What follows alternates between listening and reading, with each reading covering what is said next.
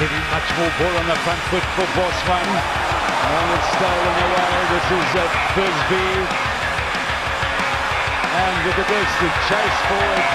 Ioane Frisby. What a try for the replacement Nick Frisby. Into the back play again, so they're going to have to do this without Indes Henderson tonight. So here's Henson.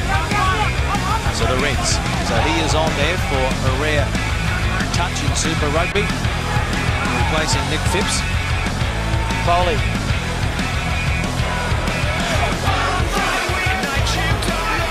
McKibben.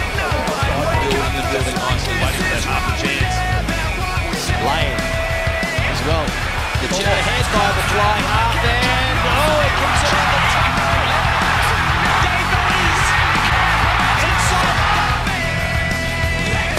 And Lane, that's better for the youngster. Oh, he nails the hardest one.